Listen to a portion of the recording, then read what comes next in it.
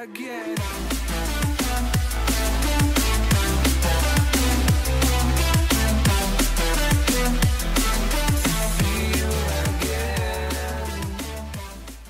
Ciao a tutti amici youtubers e bentrovati dal vostro Gatorade Geloso 94 e benvenuti come promesso alla mia guida personale sui gironi della Champions League 2017-2018 dal girone A al girone H. È la prima volta che faccio una cosa del genere perché non mi sono mai soffermato specificatamente su queste cose, su questi argomenti però voglio comunque provare e spero che apprezzerete la mia opinione. Detto questo iniziamo subito. Voglio partire, mi sposto un altro pochino così almeno posso far scorrere qua vicino i nomi delle squadre partecipanti con il girone A. Il girone A che prevede Benfica, Manchester United, Basilea e CSK Mosca. Allora, è un girone che nel complesso è abbastanza equilibrato, non sarà certo uno di quelli più spettacolari, però squadre come Manchester United, CSK Mosca, Basilea e Benfica hanno fatto parte della Champions League per tantissimi anni, soprattutto Benfica e Manchester United, e quindi sono sicuro che potremo vedere delle partite interessanti. Personalmente penso vi faccio anche un pronostico su quelle due squadre che passeranno e quella che andrà in Europa League. Per me vedo assolutamente favorite Benfica e Manchester United, mentre tra CSK Mosca e Basilea vedo un pochino più favorita la squadra svizzera, perché rispetto a CSK Mosca mi sembra leggermente più forte a livello tecnico, però anche in questo caso parliamo di una sfida tra due squadre più o meno dello stesso livello, quindi io prevedo Benfica e Manchester United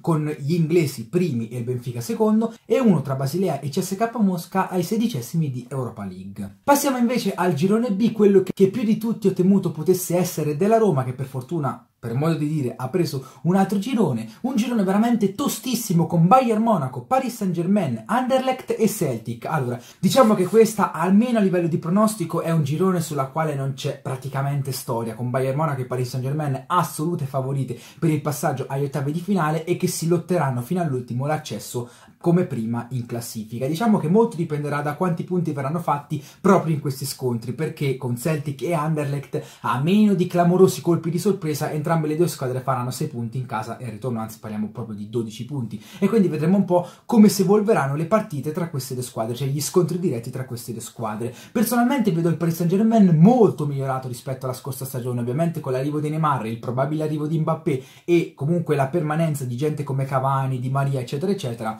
la vedo una squadra tostissima rispetto a Bayern Monaco che per quanto rimane una squadra fortissima, soprattutto nel prestagione ha dimostrato di soffrire un pochino. Cioè, certo, ovviamente le amichevoli prestagionali non contano particolarmente, però sia in quelle che nelle prime partite si è visto che la squadra ha leggermente, ma dico proprio leggermente, calato il suo rendimento. Quindi penso che attualmente il Paris Saint Germain sia leggermente più favorito rispetto al Bayern Monaco per un accesso, come prima, agli ottavi di Champions League. Parlando della terza squadra, io penso che anche qua parliamo di una sfida equilibrata e penso che alla fine la spunterà il Celtic, seppur di poco.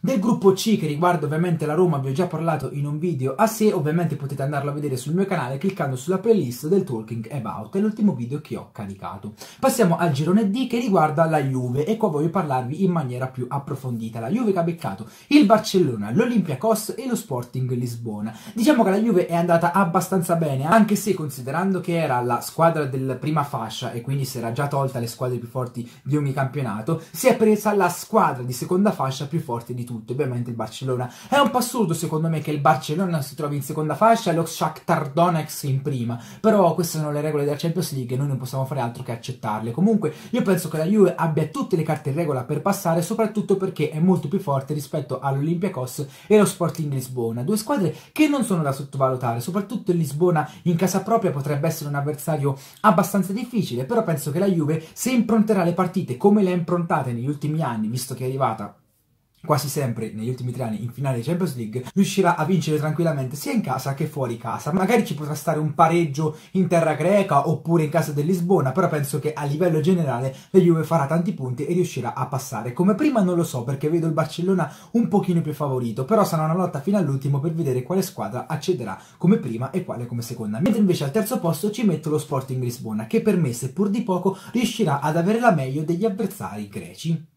Il gruppo E invece prevede lo Spartak Mosca, il Siviglia, il Liverpool e il Maribor. Anche in questo caso vedere Spartak Mosca prima della propria serie e Liverpool terza, veramente sono cose allucinanti. Ma comunque, per me i favoriti sono Siviglia e Liverpool, con il Liverpool leggermente più favorito rispetto al Siviglia. Diciamo che anche in questo caso il girone si può dividere in due blocchi, tra due squadre nettamente favorite e due squadre che cercheranno perlomeno di fare un girone onorevole e di qualificarsi per i sedicesimi. Parliamo subito delle squadre di Europa League e penso che lo Spartak Mosca riuscirà a qualificarsi senza problemi con il Maribor che arriverà ultimo in classifica, mentre invece tra Siviglia e Liverpool vedo proprio quest'ultimi come favoriti, soprattutto se riusciranno a fare dell'Anfield Road un vero e proprio fortino. Il girone F riguarda invece il Napoli e in questo caso diciamo che al Napoli è andata molto molto bene secondo me perché ha preso una delle squadre di prima fascia più facili di tutte e cioè lo Shakhtar Donetsk. Anche se in casa loro non sono facili da battere ma rispetto alle altre squadre sicuramente sono l'avversario più abbordabile. Il Manchester City in seconda fascia e il Feyenoord in quarta fascia. Allora avendo affrontato negli ultimi anni sia Feyenoord che Manchester City e anche lo Shakhtar Donetsk anche se parliamo di sei anni fa posso dire che le sfide più difficili saranno proprio fuori casa ma saranno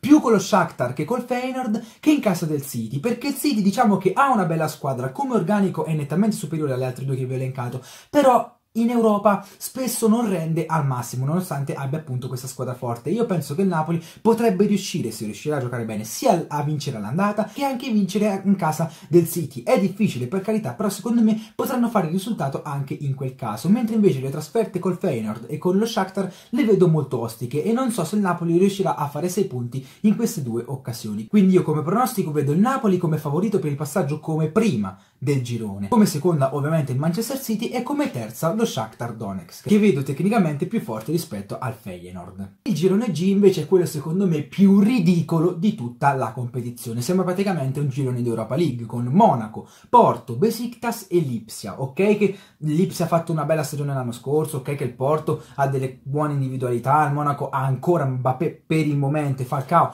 però rispetto a tutte le altre squadre che ci sono sugli altri gironi questa è una cosa abbastanza ridicola. Infatti è per questo che non approvo il fatto che ci sono squadre di minor livello sulla prima fascia e squadre di miglior livello su seconda e terza fascia. Però, come ho detto, non faccio le regole, quindi ci dobbiamo accontentare. Qua diciamo che è un girone abbastanza equilibrato. Vedo sia Monaco che Porto come favorite per il passaggio, proprio in quest'ordine, sia Monaco primo che Porto secondo. Mentre invece tra Besiktas e Lipsia penso sarà una lotta molto importante, ma penso che la spunteranno i turchi perché almeno rispetto a Lipsia hanno più esperienza a livello internazionale, perché penso che i tedeschi siano alla loro prima, se non a una delle poche apparizioni in Champions League.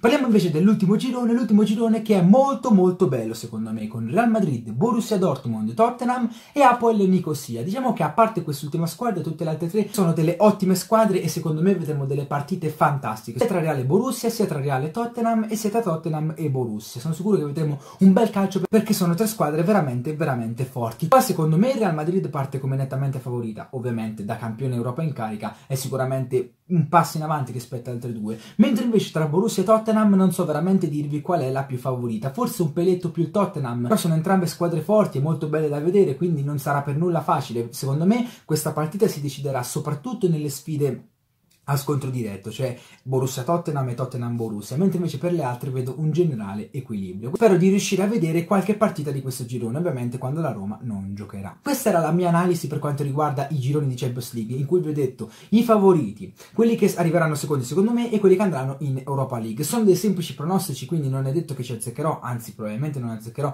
nessuno, però spero ovviamente di poter vedere un bello spettacolo. La Champions League merita di mostrare. Fatemi sapere nei commenti voi cosa ne pensate di questi, diciamo, questa mia analisi sui gironi della Champions League, un saluto e ci vediamo più tardi per un altro video, sempre e comunque Forza Roma! Ciao ragazzi!